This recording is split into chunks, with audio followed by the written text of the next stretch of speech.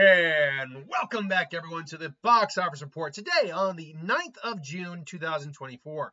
Uh, so, I uh, I don't think I got the box office right. I thought the Watchers would be number four, two. But more importantly, um, yeah, sorry this took so late. Box Office Mojo normally updates anywhere between like two to three thirty four at the latest. Didn't update till like six today, so I don't know if that's a new schedule or someone was being lazy. Whatever. I haven't actually looked at these numbers yet or anything else, so let's just get into it. Not surprisingly, Bad Boys Ride or Die debut with 56 million uh, for number one spot. Garfield movie dropped only another 28.6% for another 10, a little over 10 million. If made a little over 8 million, 23.8 uh, percent drop, uh, losing 201 screens for number three spot. The Watchers debuts at number four with 7 million, and Kingdom of the Planet of the Apes made another 5.4 million dollars, dropping another 39.8 percent.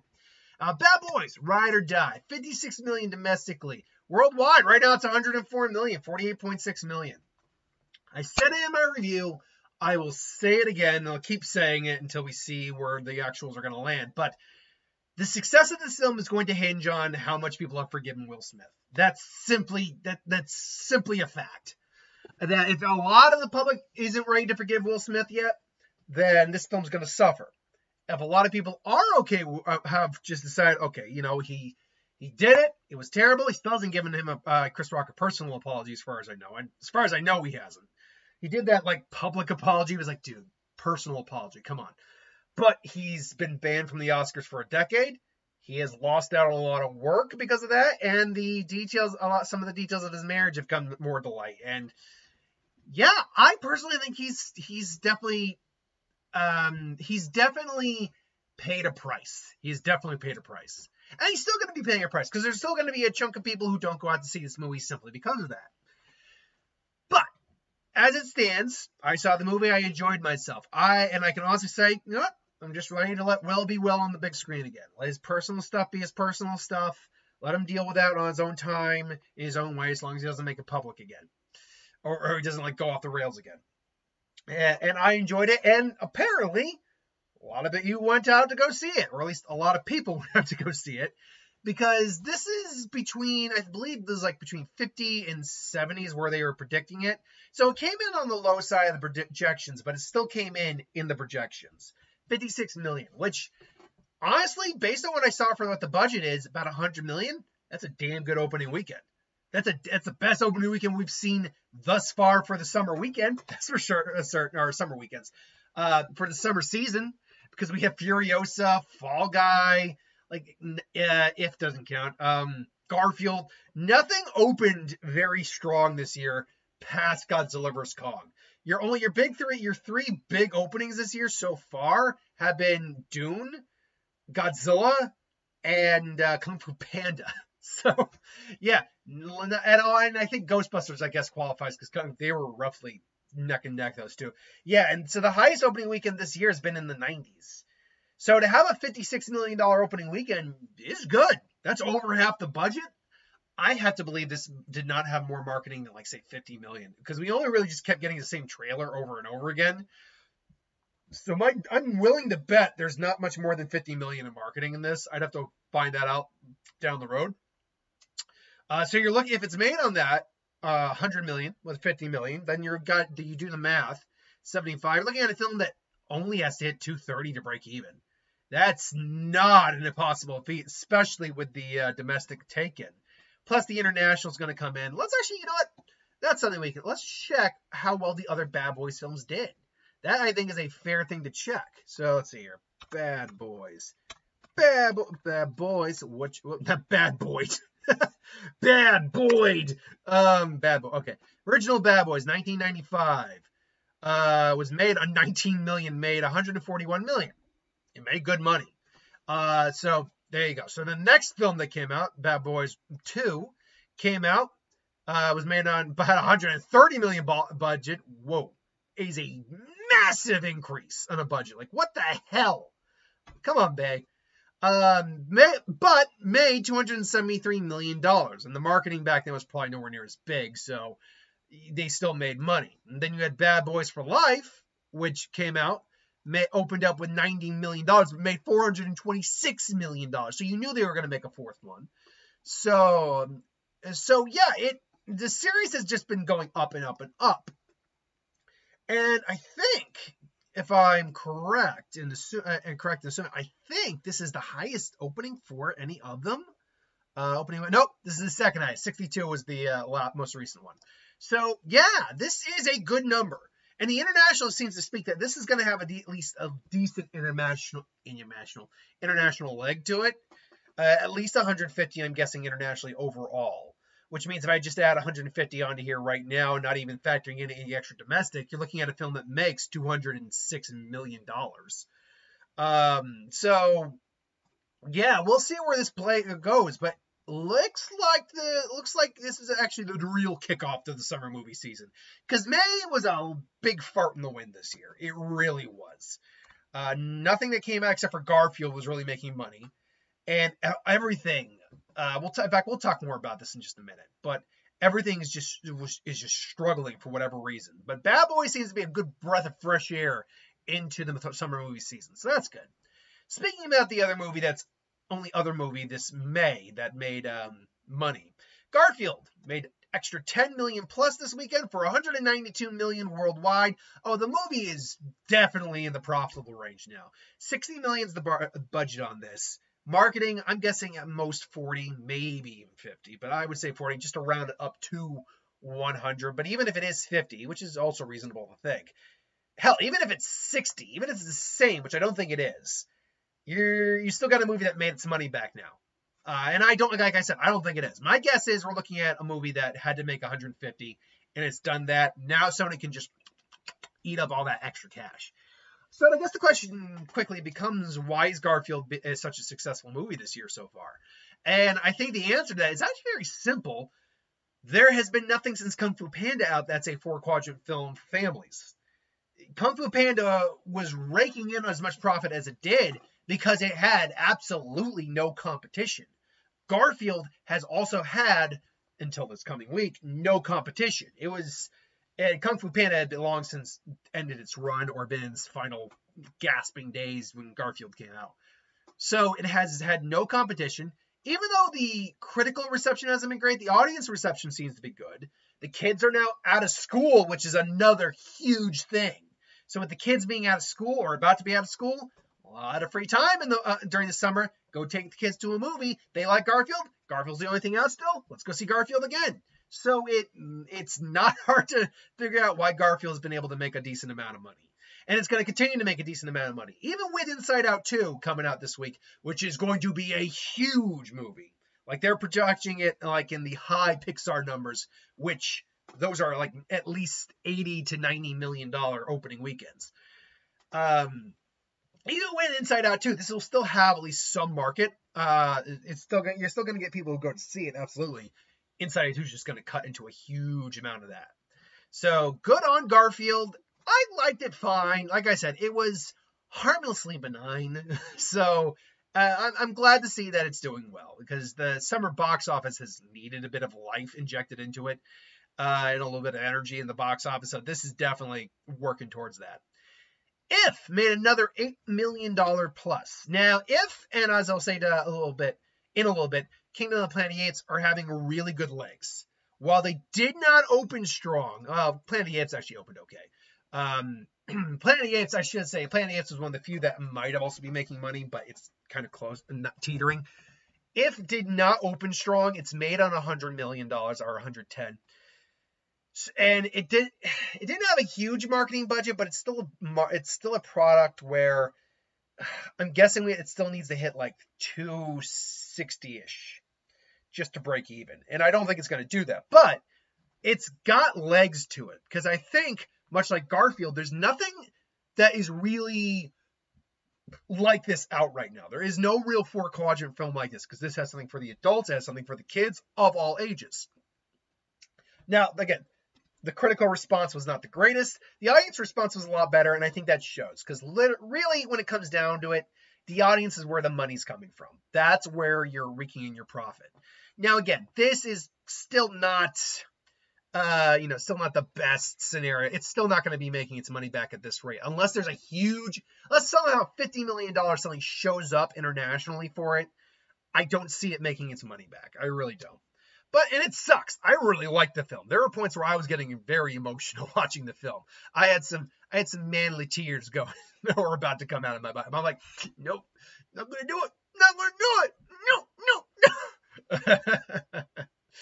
Um either way though, I am glad to see that it at least has some legs. We'll see where it ultimately ends up. It's already in its fourth week. But the fact is, it's only t- it's taking low. What was the? Uh, let's see that with those percentage drops again. It's twenty three point eight this week. Uh, let's see, domestic drop offs. So its first drop off was 50%, which makes sense. And then the Memorial Day weekend kind of came in. Then 34.9, then 28.3. It's losing screens and taking smaller drops. That is, see, that tells you that the audience likes it. I think what most likely happened and again, I think I've said this before, but I'll restate my case again, is that people kept seeing the same trailer over and over again. And much with like Fall Guy, they just got tired of the same thing over and over again. Plus, it's it wasn't a, because students weren't or kids weren't out of school yet, and that would be a big uh, draw for this, or or a big um, demographic to draw in. I have a feeling because we now have gotten to out gotten to the summer movie season, like past a lot of like graduations or, you know, school ending. I think that played a factor in it where now that people are able to take their kids to the movies more, they're able to actually, you know, watch these and be like, oh no, this was really good. Uh, so yeah, I think uh, I think it got a bad rap with its marketing. I think the damn freaking release window, that 45 day release window, is stupid as hell. Uh, we that needs that needs to go. We need to, and apparently Inside Out 2 is going to show that. Oh yeah, well we need that hundred day release window uh, because we're no longer in the day and age. People say that streaming, um, streaming is not an issue because uh, you know um, uh, VHS and DVD was not an issue. Home release was not an issue, but it's a different world because if you're already paying for a streaming service and then it comes out, you don't then go out to buy uh the movie, look for the movie, or then because you could still go because it's just free available now. There's no there's no middleman now. It's just there. So I think between the lessened uh, shortened release window and the streaming existing, I think that's hurting the theatrical experience quite a bit. At least to a certain degree for like these films that look good and are great experiences, but aren't capturing the audience enough to draw them into the uh, to the theaters. So we'll have to see. The Watchers debuted with seven million. Uh, worldwide, it's made 11.7 million. Now, I tried to find the budget on this. I can't find an exact budget, but the number I did see, where I think they uh, Warner paid like 30 million to acquire or something like that, that would sound about right. I'll have to keep uh, looking around to see if I can find a budget. But that does sound about right because there was visual effects in, in, here to the point where I do see them needing at least some budget. But not 30 is not a huge budget, and that makes sense. Seven million though is not good enough, and with the reception this film got, I do not see it being a big hit. Unfortunately, it's not been a good year financially for horror. There's been some decent films though. There's certainly been some decent films. Um, again, The Watchers, uh, we actually felt were, was a pretty decent film. We liked it. I thought Imaginary was at least better than Night Swim, but Night Swim was god awful. Uh, from my understanding, Strangers Prey at Night was not good. Abigail, from my understanding, was actually pretty okay. But I, I don't know. Um, Kingdom of the Planet of the Apes made 5.4 million. Another film taking great drop offs. 559 million worldwide. So this is unfortunately where we get to the point with the Planet of the Apes film, or with this film, where I I do not see this film making its money back now because it, if you look at that international number, that's a perfectly round figure. I think it's pretty unless someone can point out another international market where or other international markets that has not been released yet. It's made all its money internationally it's going to make, which means everything else now is just here. And that's not going to be enough. The film's 165 million dollars in terms of its marketing budget or in terms of production budget even if I lowballed it to 75 million, which is still theoretically possible for marketing, if I lowballed it to that, uh, then you're looking at a film that's made on 240 million. The film that means the film would, in theory, have broken will break even and make a lot of money. That'd be great. The reality, though, is probably you're looking at closer to 100 million. I mean, again, I'd have to find it later on. Maybe I'm wrong. I hope I'm wrong. But if it is 100 million, you're looking at 265 then. And then that means you're looking at a film that still has to hit basically 400 million. That's another 41 million domestically, more or less 41 million domestically that has to make. It does not have that in the tank. It made 5.4 million this weekend. It does not have 41 million left in the tank domestically. It's probably got at best 20 million, if that. So again, I'm gonna have to double check to see what the marketing budget probably was on the film, but not good, not good. Speaking of not good, Mad Max Furiosa. Uh, if I keep saying Mad Max, it's Furiosa Mad Max Saga. Mad Max Furiosa dropped another 60.6 percent, 144 million worldwide. Holy crap! What happened here? Well, let me tell you what I think happened here. Uh, because it's got some of the best reviews that the Mad Max saga has ever had. It's been just a good. It's it is a balls of the wall action masterpiece um, to, to a degree. I think actually, I think let me rephrase that. Fury Road is better, but this is still a really well told story. The acting is all great. The action is visceral, intense, and practical, which people like to complain about. So why the hell did this not work? And I go back to what I said last week. I think with the with exceptions, I think most people don't care about prequels. Wonka obviously was an exception, but Wonka was a very different film. It was a pure for your it was a pure four quadrant film.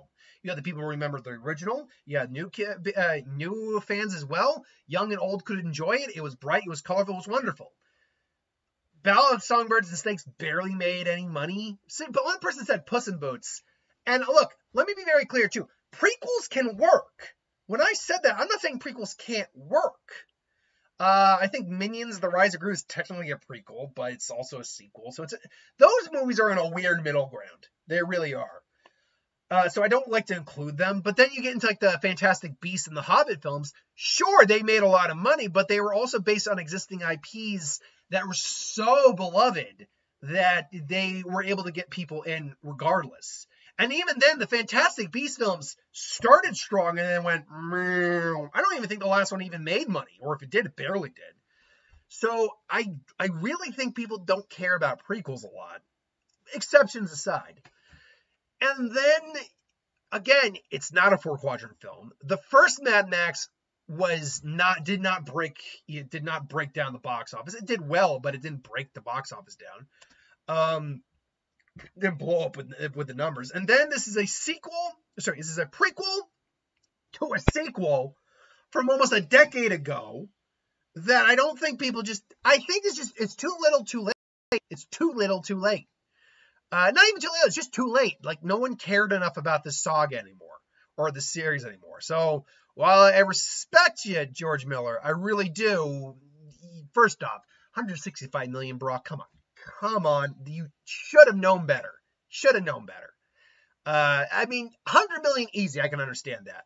Maybe 125, but 165, that's an extra 40 freaking million there. And this, even if I lowballed to the 100 million, this film still wouldn't be making its money back. So, ugh. it's a, it's a, it's a messed up, uh, it's a messed up scenario, but it is what it is. And it's already lost 880 screens because they're saying there's no reason to keep this in theaters if it's not making money. The Fall Guy, 2.27 million. Talking about a film that went is clearly going to digital very soon if it hasn't already, but clearly found its legs too late.